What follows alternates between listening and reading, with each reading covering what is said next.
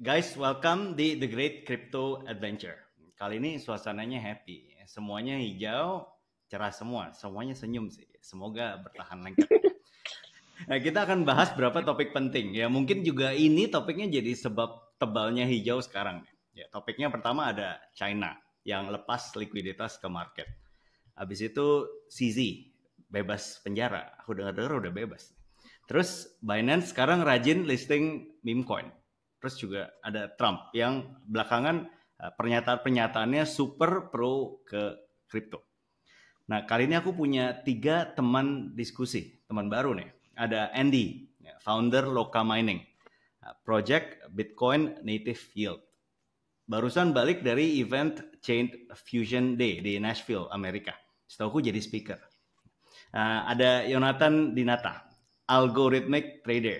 Ya, jadi sekarang meski dia lagi kelihatannya nyantai, ngobrol, background serba kuning, ya ada army algonya tuh lagi asik trading otomatis tuh di belakang layar. Terus ada Satya, ya budak corporate Web3. Ya, setauku juga ahlinya airdrop. Nah, setauku kemarin sempat jadi pusat drama tuh pas lagi seru sinetron oh, Raja enggak, Airdrop enggak. di X. Enggak, enggak. hey guys, welcome guys. Itu itu bercanda aja. Ya, uh, siap, to have you here. eh, gimana feeling market kalian saat ini gimana? Eh, feeling kalian gimana di market? Apa lagi lagi ada posisi atau apa langkah-langkahnya sih? Boleh share nggak sih? Siapa dulu nih?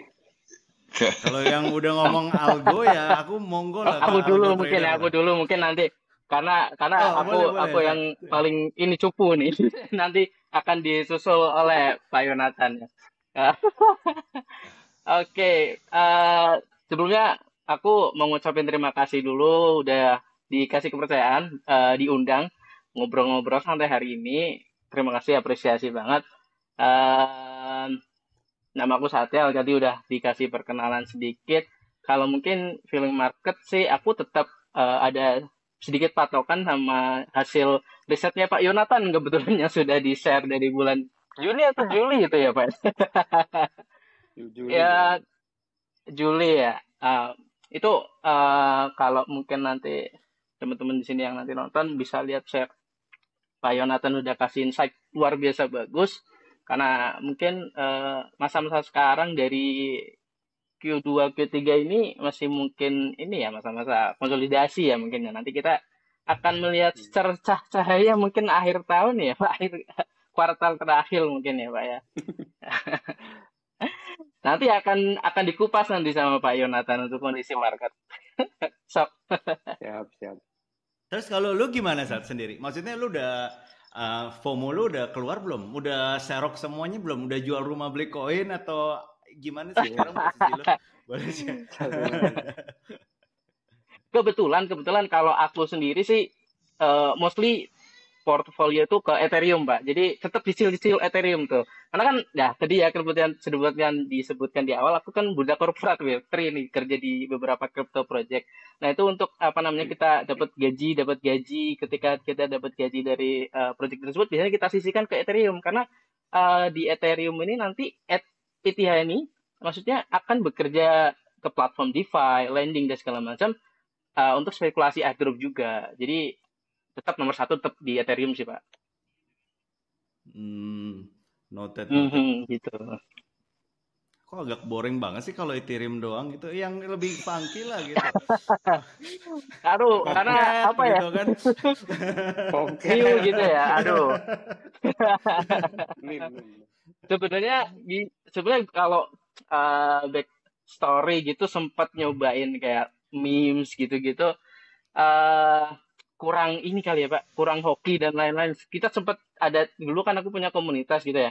Kita sempat riset bareng, tapi pasti yang ketinggalan tuh aku. Jadi mulai sekarang udah masuk ke yang apa namanya eh pasti-pasti lah ya Bitcoin, Solana, Ethereum ya mungkin agak membosankan tapi eh gitu sih mungkin ya karena mungkin nggak mau faktor resiko yang terlalu tinggi juga ya kalau aku pribadi sih seperti itu Ya ini cocok sama usia juga lo ya. Udah mau yang pasti-pasti gitu kan pasti. Udah punya anak, udah punya istri, gitu aduh, kan, mau susah pensiun, bentar lagi. Bumer, aduh, eh, anaknya gitu sambil karena kan Ethereum ini kan bisa hmm. untuk kerja istilahnya. Maksudnya apa ya? Kitanya udah menghasilkan uang, dapat uh, Ethereum gitu ya, dapat Ethereum, Ethereumnya bisa untuk misalkan kita uh, uh, lending di platform satu platform lending kita uh, borrow aset untuk uh, mengolah aset lagi di beberapa platform uh, terutama platform yang masih early gitu ya. Ya itu uh, potensinya bakal besar untuk apa namanya gain gain ke depannya gitu pak. Oke okay, noted noted. Gamenya di situ. Uh, sip sip. Kalau uh, Mr. Algo gimana uh, apa pertanyaan lupa? Soal nah, market kan? ya? Market sih yeah, mas udah mm-hmm. udah masuk posisi sih. Kemarin kan aku ada sempat post tuh yang kayak alt season itu kapan ya? Habis itu kan eh, waktu altnya sudah masuk posisi aku juga sudah ada algo untuk masuk uh, hampir semua sih. Ethereum Solana BTC tapi kemarin kayak tiga hari yang lalu BTC-nya sempat close tapi aku tetap tetap ada posisi Bitcoin karena kan aku bayangkan kan di Coin M kan. Hmm. Kalau sekarang kemarin habis jebol 65 ya, aku rasa sudah ini ya, sudah fix wish ya. Kita menuju 200 ribu kali. Bang bang bang bang bang bang bang bang bang bang. Tunggu tunggu. Gue pencet gue pencet rata kanan ya 200 x tuh benar. Tanyakan lonceng. Langsung super super mega ya nih Pak ya. Nah, langsung PP saya ganti loh jadi kayak super saiyan. Nah, iya, iya. yeah. Bullish, bullish. Itu kalau kalau crash lucu sih. Tapi berarti lu tetap ke Big Three ya mainnya ya? Maksudnya ke yeah, yeah. Eight, Solana, Bitcoin itu. Yeah. Hmm. Sisanya sih meme lah, sisanya meme. Noted, noted, noted. Iya. Yeah. Kalau Andy gimana? Aku ini sih ya apa indifferent aja sih. Udah ter, udah dari dulu udah ngalamin fase bullish bearish gitu. Terus ya udah emang kayak gitu sakelnya gitu.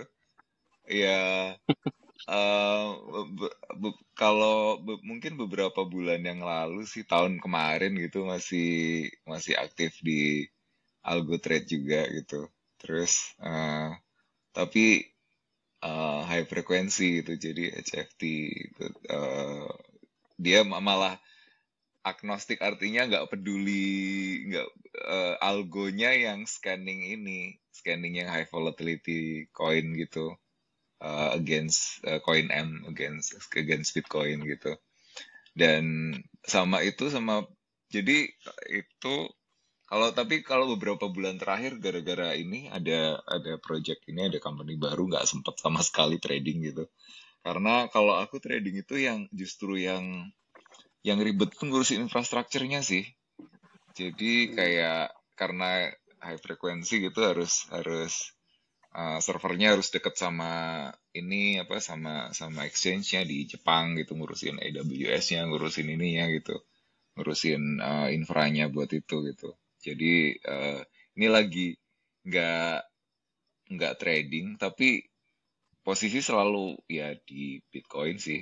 Ya, ya nggak pernah jual juga dari dulu gitu. gitu. Oh, berarti Terus ya, ya. berarti kamu suka punya server khusus ya dulu ya, yang khusus buat HFT ada maintain iya. khusus servernya gitu. Iya, itu kayak dulu side project kalau weekend gitu sih. Terus uh, jadi ada ya deploy server khusus itu untuk di situ karena karena high, frekuensi itu jadi kayak tiap dia tiap tiap spike gitu. Dia ngambil cuman cuman kecil-kecil gitu. Kayak dua persen satu persen dua persen tapi otomatis gitu. Jadi begitu ada spike dia langsung ambil gitu. Ya gitu sih spike spike gitu jadi semakin volatile semakin cuan gitu. Dan nggak peduli koinnya apa gitu. Aku juga I don't even know gitu itu tokennya apa nggak jelas gitu. Tiap minggu dia reset lagi gitu. Ambil yang high volatility gitu. Di dalam range itu dulu uh, kayak gitu. Jadi kalau ditanya aku waktu itu itu main apa nggak nggak tahu juga nggak inget gitu. Uh, bisa ambil posisi ratusan even dalam seminggu bisa rib, berapa ribu ribuan trade gitulah dalam dalam beberapa hari gitu. Oh jadi gitu. bench uh, ininya tuh kriterianya volatility ya, bukan koin apa volatility, iya. volatility ya. Jadi dia scan iya, sendiri ya, dia ada scanner ya dari exchange ini yang volatility-nya naik langsung dia ke sana gitu. Iya, aku bikin sendiri sih uh, scannernya volatility. Jadi kita grading dari uh, dari apa? Uh, bikin scoring kan. Jadi kan kalau kalau HFT itu kan sebenarnya kita yang dicari itu yang yang dalam range tapi high volatile gitu. Karena setiap volatile kan dapat cuan di situ kan. Jadi nyari di di scoring high volatility, volumenya ada, terus uh, apa dalam range gitu dalam seminggu terakhir gitu ya udah gitu ya jadi dari 267 pair di Binance kalau nggak salah nanti diambil paling 10-20 gitu yang kriteria itu. Itu kan tiap minggu kan berubah tuh. Hmm. gitu. Itu dulu dulu aku gitu. Tapi nggak sempet karena itu tuh yang yang ribet itu malah ngurus infrastrukturnya lah jadi tahu-tahu servernya. Jadi lagi dalam posisi bayangkan yang bikin rugi itu kadang-kadang kalau lagi dalam posisi gitu terus servernya macet gitu nah, kena iya, kena brute force atau itu nah, itu kacau kayak gitu sih no no itu ya. eh guys ya. tapi kalau uh, aku pengen dapat feel kita ngomong balik ke market ya hmm. aku mau dapat feel kalian yeah. kalau uh, Yonatan kan aku nangkep karena udah tembus 65 ribu um, rasanya ke atas terus kan Hmm. Pokoknya lebih panjang lah gitu ya. Kalau Andy sama Satya gimana feelingnya? Hmm, uh, aku sih iya. Ya udah sih kalau ini mau ada penuh keraguan gitu? Gue tangkap kayak naik, ada keraguan. bagus gitu. Tapi kalau turun ya udah gitu terima aja gitu udah biasa gitu sih. Udah ya banyak udah terlalu sering ini ya, ya pak ya turun jadi udah kayak udah gitu lah Udah mati rasa, uh, udah mati rasa. Iya mati rasa bener, mati rasa. Tapi ada sebenarnya ada satu yang yang uh, satu satu uh, strategi ini sih kalau Bitcoin atau alt whatever sih itu yang kayaknya Bitcoin sih yang yang aku penasaran belum sempat mau nyoba gitu. Apa Jadi pakai Fear Grid Index aja gitu. Jadi jadi sih oh, iya, iya. pakai Iya, Fear Grid Index, tapi di automate di automate aja. Jadi tradingnya slow gitu lah. Jadi kalau misalnya oh. fear di scoring itu fearnya semakin fearnya semakin tinggi itu kita belinya semakin gede gitu. Jadi yeah. kalau waktu oh. gridnya naik baru dia melepas gitu. Ya udah dari itu aja gitu. Karena trading itu kan sebenarnya kan itu kalau short term itu kan zero sum kan. Kalau oh Iya, jadi pastikan kita sebenarnya against psikologi masa kan. Jadi ya itu, itu, menurutku sih menarik untuk dicoba. Belum sempat aja sih.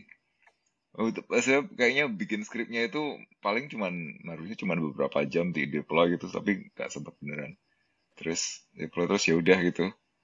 Uh, kok kok jadi gue yang ngomong ya? Ya gitulah. Lagi ini menarik semuanya, menarik menarik semuanya. lagi nyimak kalau fear and ilmu ilmu ilmu yang keren nih. Di nah, gimana? Yo. Kalau fear and greed aku pernah backtest di trading view. Cuman aku nggak beli waktu fear sih. Aku belinya waktu ketika dia mulai awal-awal greed dia baru uh. beli. Itu bagus juga oh iya iya iya. Ya confirm confirm bull kan harus dari situ kan Uh, iya, karena nyari ini ya pas mau baliknya ya. Iya, soalnya pas aku modelnya mau... breakout, jadi nggak agak hmm. beda. Kalau beberapa orang kan suka belinya di support. Nah itu pakai hmm. fear benar. Iya iya. Beda fase. Oke. Okay. Uh, kalau strategi Yonatan kan uh, nyari bull run-nya kan. Kalau strategi nyari, nyari sideways-nya kan. Pas lagi musim sideways yeah. atas bawah.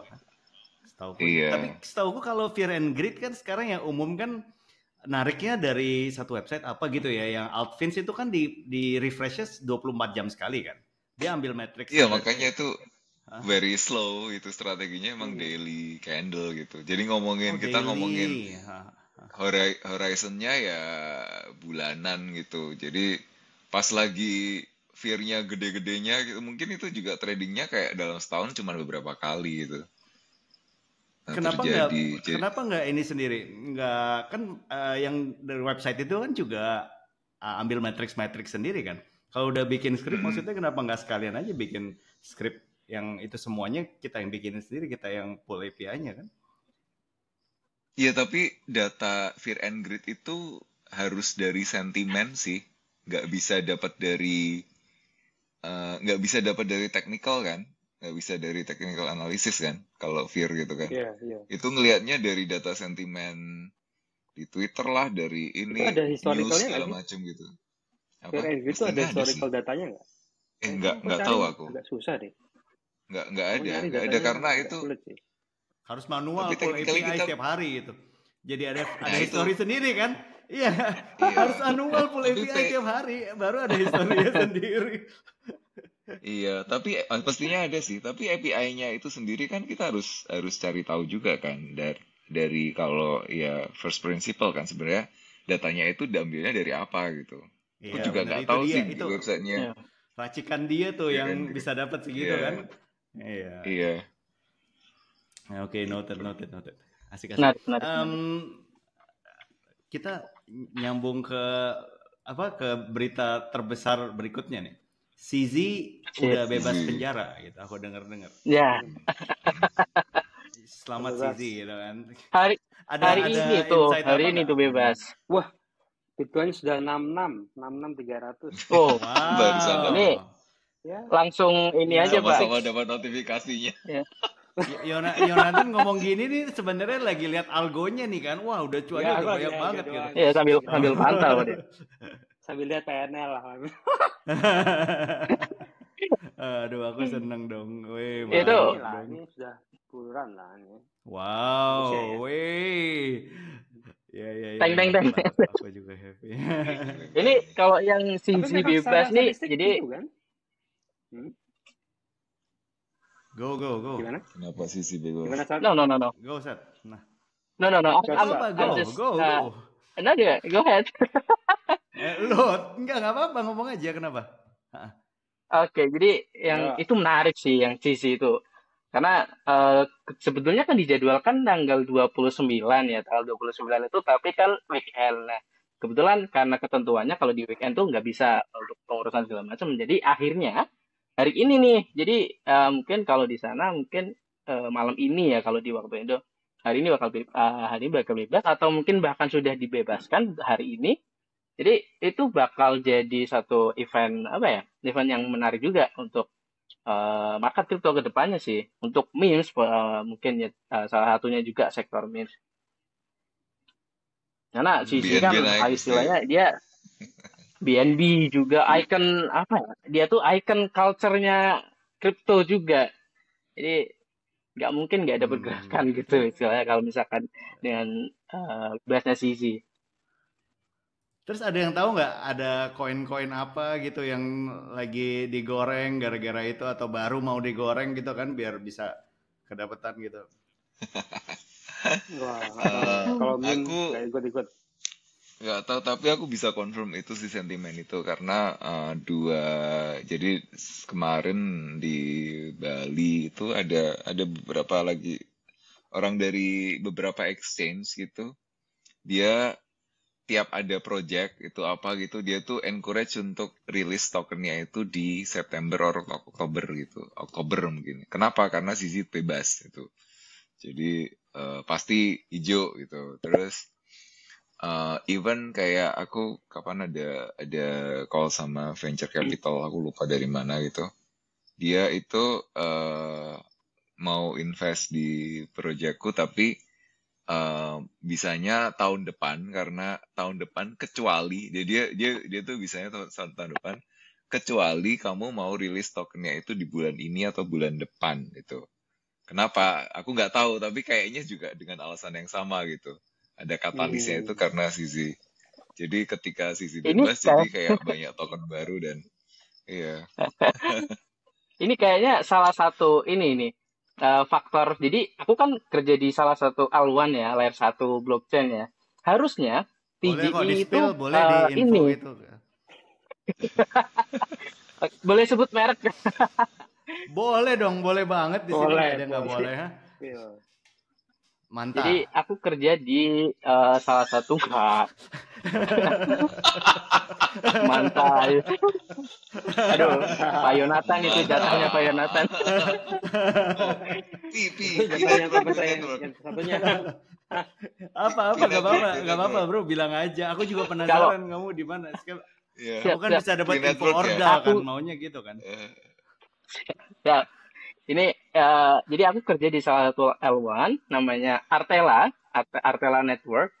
Jadi sebenarnya uh, eh, TGI ini bulan ini Pak.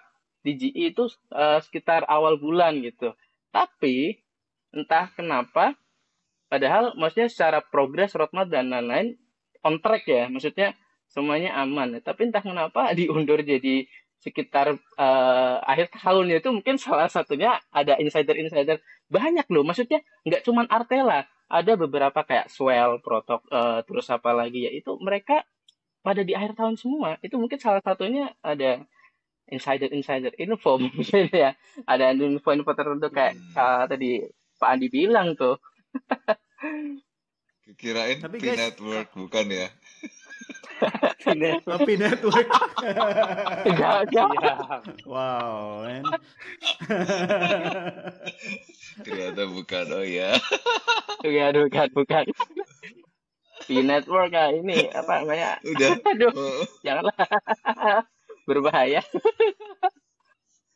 Eh, guys, tapi aku sebenarnya genuinely benar-benar sangat penasaran uh, kenapa sampai um, uh, pemain serius. Aku anggap pemain serius karena kayak misalnya orang yang bikin project atau orang yang mau invest dalam kasus Andi gitu kan.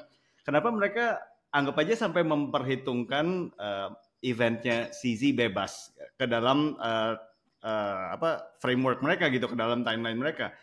Maksudnya kalau dalam aku sebagai ya yang yang se, se yang aku pikirkan itu it's just an event aja gitu. Dia juga nggak mau udah bilang nggak mau masuk ke terlalu in, uh, involve ke crypto lagi, ke Binance lagi. So uh, bisa share nggak sih? Ada yang tahu nggak sih the reason maksudnya yang beneran kenapa gitu? Kenapa sampai sepenting itu? Bukannya yang nggak mau nggak mau ini involve di itu si Vitalik ya gara-gara punya pacar ya? oh. itu juga ini kita juga, gosip malah gosip. Gosip kripto ini.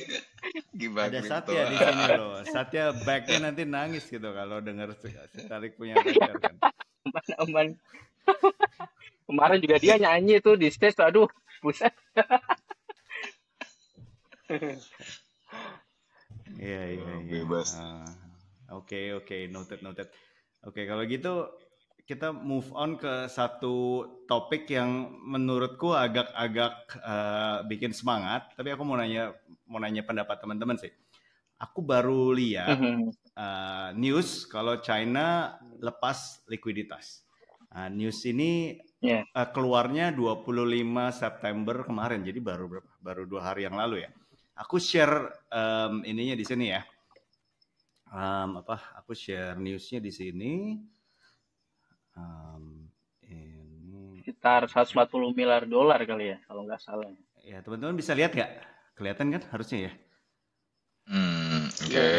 Oke, okay, jadi oh. poinnya kalau aku bisa rekap di sini, um, ini dia, ini aku udah uh, warna-warnain. Kalau aku bisa rekap, yang aku tangkap pertama ada potong RRR (Reserve Requirement Ratio). Itu apa? Yeah. Itu adalah uh, uh, apa kewajiban bank untuk simpan sefraksi uang yang disimpan yang dia pegang yang hasil tabungan orang ke dia untuk sebagai dana jaga-jaga reserve. Nah, ya, fractional reserve kan mm-hmm. semua bank harus simpan. Tapi yeah. kali ini udah dipotong 0,5 persen. Nah, estimasinya itu bakal buka likuiditas ke market 141 miliar. Maksudnya kenapa bisa begitu ya? Yeah. Simpelnya China jadi punya eh, bank-bank di China jadi punya uang lebih yang dia bisa pinjemin ke orang lain, bisa investasi di proyek-proyek. Mhm. Nah, kedua, mereka turunin buka KPR untuk cicilan existing. Nah, jadi kalau ada user punya rumah, udah lagi cicilan rumah, bunganya turun. Ketiga, DP rumah baru turun dari 25% ke 15%. Eh, terakhir, nah ini juga menarik, refinance utang bank. Jadi utang bank di refinance, mereka punya uang, punya dana buat bisa buyback saham mereka. Kelihatan semuanya buat kasih stimulus uh, ke pasar sih aku lihat. Nah aku mau nanya ke iya, teman-teman, yeah, um, menurut kalian ada, ada bakal berdampak ke kripto nggak? Dan Uh, so what's your thoughts gitu? Hmm. Stimulus pasti berdampak ya. Oke. Okay. Ini aja berarti sahamnya saya aja udah naik all time high nih. Sahamnya all time ya? high untuk 2024 loh. Oh ya? Jadi waktu iya waktu 2000 apa waktu 24 September itu rilis dia langsung terbang. Hmm, hmm, Terbangnya hmm. vertikal ya langsung menuju langit. Mau ngejar Bitcoin berarti.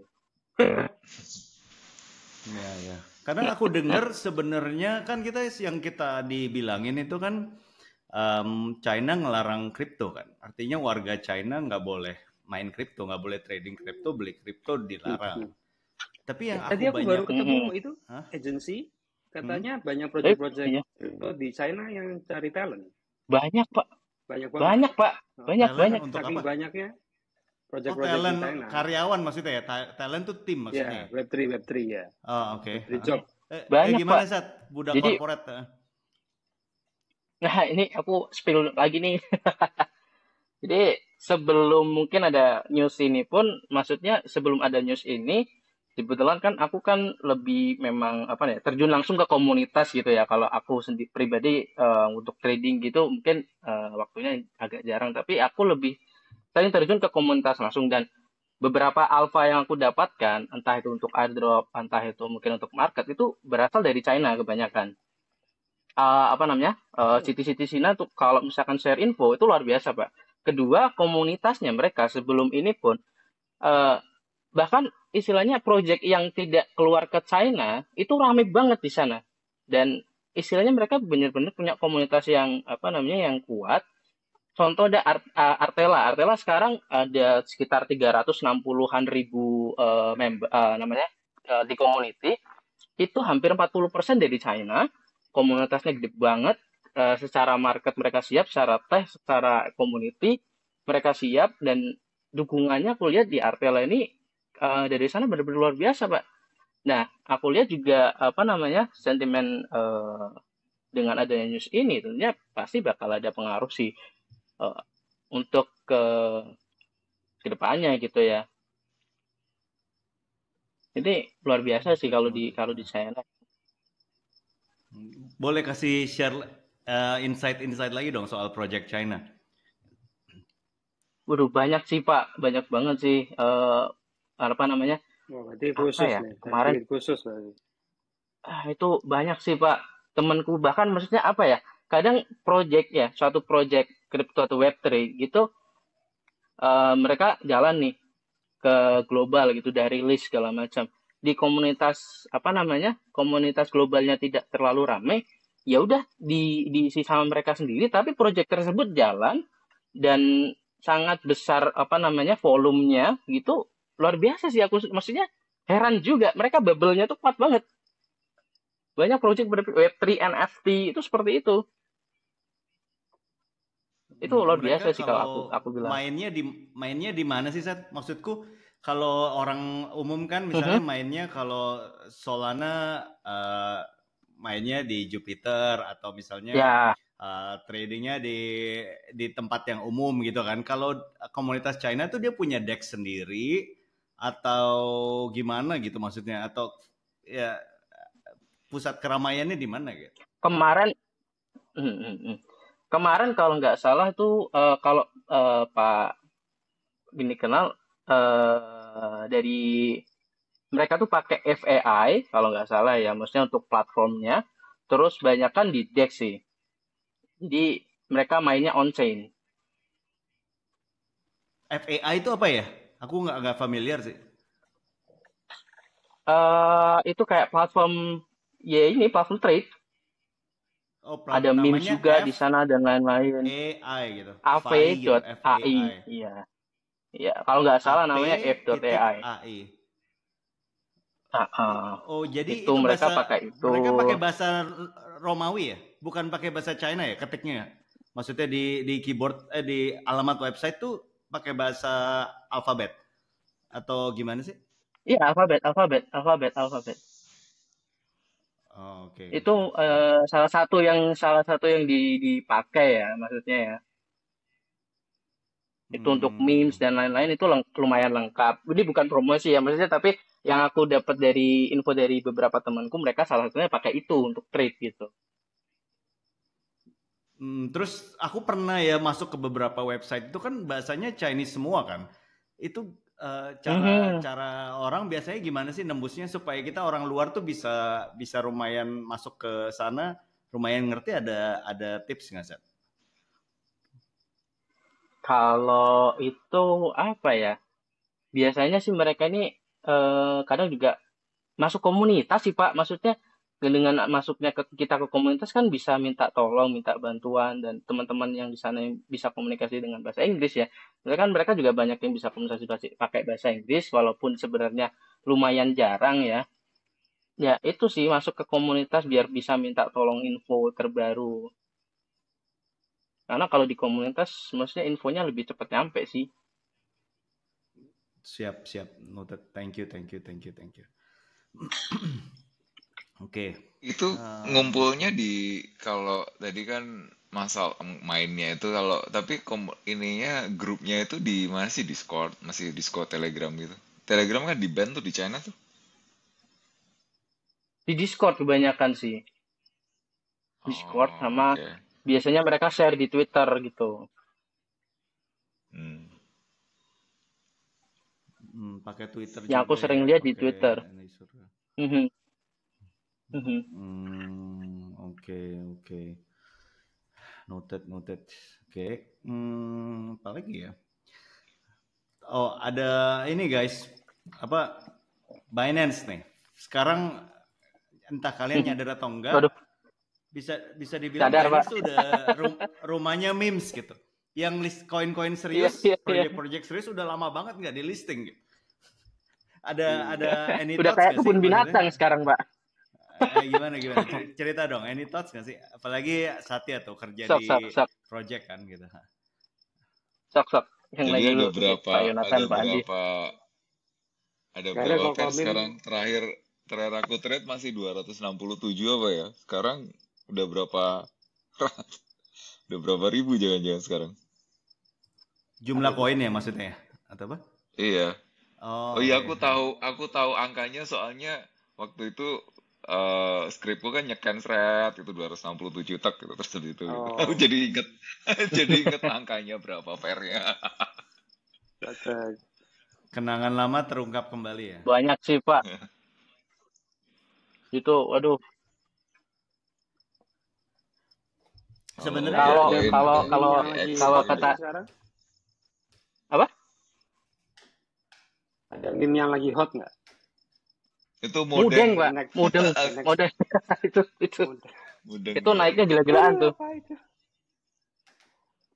Mudeng. Ini binatangnya ini sebenarnya tuh kalau ya kalau ngomongin lagi lagi apa bull season kayak gini nih sebenarnya tuh nggak cuman kalau algo trade itu uh, itu nggak cuman sekedar naik turun aja sih kita tuh bisa ambil uh-huh. arbitrage juga uh, jadi um, kayak misalnya mudeng gitu itu pasti kalau hmm. lah kan itu baru kan kalau koin-koin baru itu kan ya. liquidity-nya yeah. tuh nggak tersebar rata jadi itu uh, ini uh, harganya itu bisa beda-beda tiap tiap exchange gitu. Jadi kalau kita punya bisa connect API-nya exchange ABC gitu, terus pas harganya itu uh, beda gitu, pas split second itu ya kita bisa beli di sini jual di sini gitu.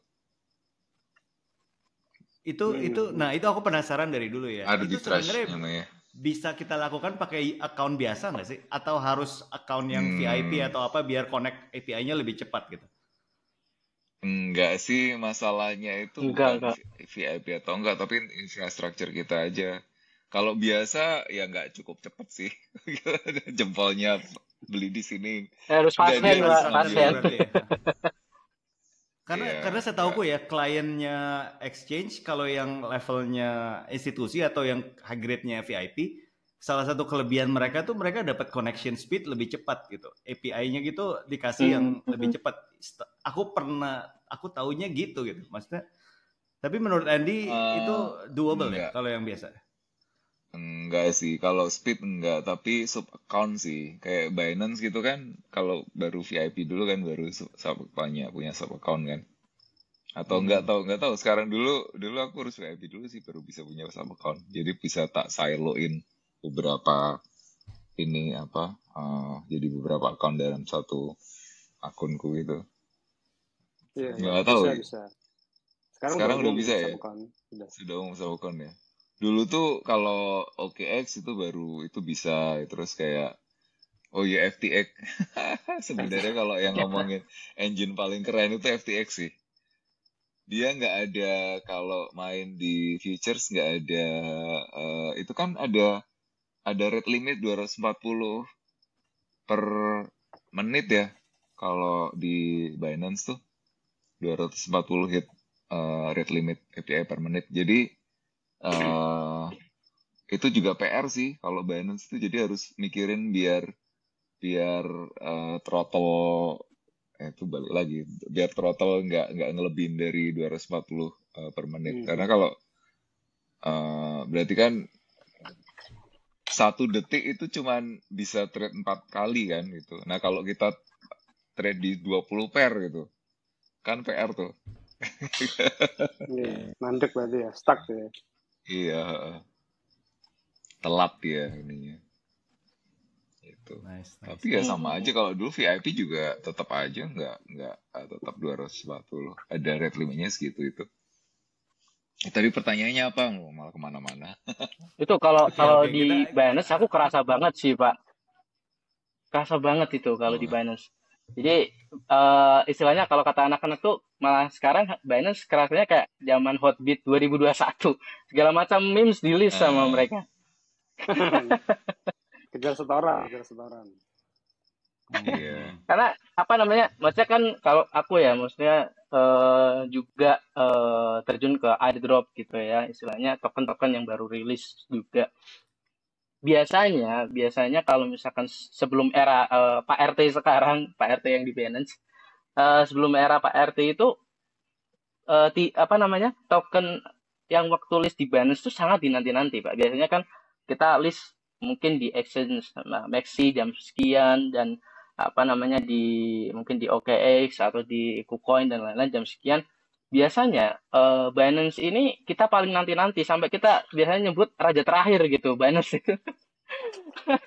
Karena dia apa namanya signifikan banget ngaruh pam misalnya apa namanya kita biasanya sell di situ di Binance karena biasanya pamnya gila-gilaan. Tapi untuk akhir-akhir ini semenjak ya dipegang Pak RT eh nggak tahu ya kenapa agak berkurang satu itu sampai follow apa biasa aja. Jadi udah udah udah udah udah biasa gitu. Udah teman-teman udah mulai sell di beberapa exchange lain. Jadi udah setara lah biasa aja. Terus apa namanya untuk memes aku juga merasakan ada beberapa proyek besar yang malah justru belum dirilis sama Binance nih. Hmm, hmm. Ya karena kalau aku lihat emang um, kondisinya juga agak beda sih ya. Maksudnya kondisi uh, Binance yang sekarang sama Binance yang dulu Um, yeah. Kalau dari segi retailnya juga beda. Gitu. Retail yang dulu semangat beli koin-koin serius semangat. Gitu. Eh, apalagi dulu waktu zamannya COVID, boomnya COVID kan, aku, aku ngerasa kita semua punya harapan yang besar kalau kripto uh, ini akan jadi kayak akan besar, akan dipakai oleh seluruh dunia, benar-benar mm -hmm. masif, utility besar semua. Jadi yeah, yeah, yeah. ada impian ke sana, ada harapan sana. Ya makin lama kan sekarang kita makin ngerti, oke okay, pasarnya lebih niche, yeah. mungkin bisa masuk tapi nggak iya. secepat yeah. itu. Aku rasa ada ada realisasi itu juga ya. Mm-hmm. Hmm. Eh, guys, kalau gitu aku mau sambung ke ngomong pasar, ngomong global uh, Donald Trump. Menurut kalian, apalagi aku mau nanya khusus ke Andy ya yang baru dari Nashville nih menurut kalian emang efek Trump ke kripto uh, sebesar itu nggak? Kita ngomong dari ucapannya kan makin sering nih Trump makin ngomong kripto. Iya. Yeah. Um, mm. Dan juga bentar lagi mau pilpres kan. So what do you guys think? Yeah. Hmm, ya sebenarnya sih kalau politik itu uh, perlu kat sebenarnya gini sih kripto itu kan selalu perlu katalis aja sih menurutku ya. Itu kripto itu perlu katalis. Jadi setiap kali ada ada momen politik ya pasti ada yang kemudian mau ngambil kripto sebagai uh, user base-nya mereka gitu sih. Dan alasannya Donald Trump kayaknya sih ya pragmatis juga gitu. Karena dia oh ini itu kalau misalnya gue ngomongin tentang kripto pro Bitcoin itu gue nambah user base gue nih. Jadi ya udah dia hmm. gitu. Padahal dia ngerti-ngerti kagak gitu kan sebenarnya gitu. Tapi ya udah gitu kalau kita ya oke oke aja gitu. Ya sama aja lah kalau pilpres di sini juga joget gitu terus apa gitu itu kan yeah. ya, itu itu sebenarnya simply simply apa yang dimau sama user kayak gimana kita audiens gitu di sana ya suka sama kita gitu. Mm -hmm. iya tapi okay. kalau ngelihat uh, ini ya kan aku juga pas di Nashville kan itu ada pas Donald Trump dikasih speech kan aku nggak masuk ke situ ya sih karena waduh itu antrinya panjang banget itu aku di ngelihat dari ini aja dari dari uh, screen di di ruangan sebelah gitu. Tapi memang emang gila sih. Jadi emang penuh banget dan uh, ya pokoknya begitu Trump ngomong Bitcoin apa terus semua duit gitu ya. Uh. sama lagi sebenarnya kayak di Indonesia gitu. Esensinya tuh apa gitu tuh nggak nggak ini. Terus nggak nggak nggak terlalu jelas gitu. Yang ada nanti habis itu kan kayak um, apa analis-analis politik atau apa tuh yang pendukungnya dia akan mencoba menerjemahkan gitu dengan analisa-analisa analisa-analisa postmortem mereka lah gitu. Ya, ini inilah sama kayak setiap kali setiap kali juga kalau uh, apa market kenapa gitu ada kejadian apa terus ada market crash gitu habis itu kan uh, akan ada akan ada analis-analis yang menjelaskan apa yang terjadi gitu kan. Ya sok tahunya mereka gitu kan. Padahal ya apa? Gitu, gitu. kalau menurutku gitu sih. Aku mau nanya ke Yonatan nih algo trader. Ini selama ini jadi salah satu pertimbangan pertimbanganmu nggak sih? Kalau newsnya Trump tuh jadi pertimbanganmu uh, kriteriamu buka trade atau tutup trade gak? Eh, nggak uh, pernah. Soalnya dia kan sudah pertama kali ketembak, hype-nya besar, kriptonya naik ya. Tapi yang terakhir kan ada isu dia ketembak dua kali. Tapi kan sebenarnya mm -hmm. bukan percobaan pembunuhan ke dia sih. Kayak ada orang berantem, ada tembak-tembakan. Jadi kayaknya dan dan dia ada gejolak kan dari kriptonya kan nggak ada nggak ada pergerakan. Kayaknya sudah sudah nggak sudah lewat sih ya menurut gua lebih lebih ke aku sih lebih lihat ke ini sih di Q4 sama Q1-nya sih. Kan sudah dari dulu-dulu di Juni-Juli kan aku sudah lihat kan behavior dari pergerakan market. Memang Q4 paling ditunggu-tunggu, makanya kan kayak ya, visinya si Andy sama apa timnya dari si Artela itu kan menunggu-nunggu CZ sama Q4 kan. CZ kan berarti akhir mm -hmm. September. Ya. Sekarang ini yeah. kan. Ini kan berarti tiga hari lagi yeah. udah Oktober. Akhir kuartal udah tiga. Masuk Q4. Hmm. Ya, kayak cocok-cocok hmm. logi lah kalau aku lihat. Dan berdasarkan algo pun, aku lihat uh, win rate-nya untuk di apa, quarter 4 sama quarter 1 memang lebih bagus. Jadi memang semuanya memang mendukung, mendukung, semesta mendukung lah. Jadi kita ratakan. Jadi ada ada ada ada ada atau tidaknya ini nggak terlalu signifikan gitu ya US election ini kayaknya kok nggak ada ya ya ya itu hmm. itu pengaruh juga tapi kan kebetulan di kuarter 4 jadi kayak saling mengamplify ya, timingnya ya hmm. Hmm, timingnya kalau udah waktunya kalau ya kalau sejarah sejarahnya kan kalau Q apa Q4 itu kan window dressing kan buat company kan untuk yeah. untuk ini kan yeah. tapi terus ya ter Uh, I mean kalau aku uh, orang yang skeptis terhadap analisa teknikal ya, karena uh, buatku itu sebenarnya itu technical analysis itu self fulfilling uh, prophecy gitu. Jadi hmm. sebenarnya semua ini semua orang trader ini adalah nyari-nyari eh ada momen apa yang kita semua beli yuk gitu. Nah, itu tuh hmm. semua meraba-raba seperti itu gitu kan. Betul, betul. Jadi ketika nyari katalis-katalis apa yang kemudian oh itu barengan gitu. Terus kemudian itu uh, ya udah tanggal sekian gitu.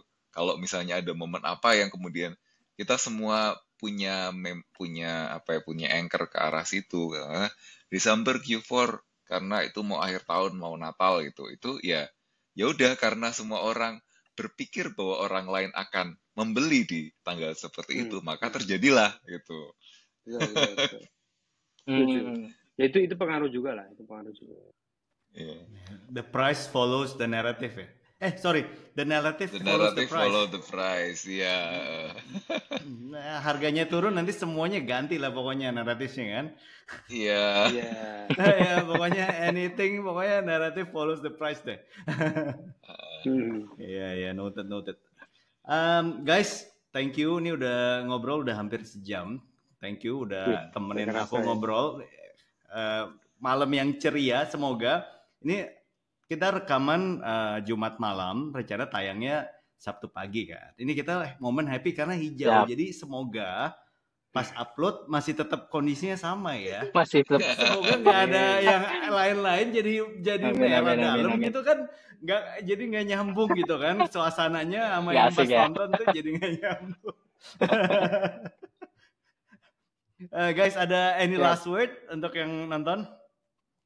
Any last word? apa ya jangan lupa beli ya beli apa jangan lupa follow Pak Yonatan gitu ya jangan lupa beli kripto jangan lupa kalau itu turun besoknya iya enggak enggak enggak enggak, enggak, enggak. Iya. Langsung diralat. Enggak, enggak, enggak. Jangan lupa KYCP Network akan segera main net. Wah. Udah udah pesen Pajero aku, Pak. rame nih P Network nih. udah pesen Pajero. Dari di share sama mereka di Facebook. iya, oh iya. iya, gawat. Eh. Semangat ya. Guys, aku taruh taruh link uh, teman-teman diskusiku ini di deskripsi video. Nanti mampir-mampir ke mereka. Uh, semangat senyum, semangat hijau, semoga lengket. Bye bye. Bye bye. Bye, terima kasih semuanya.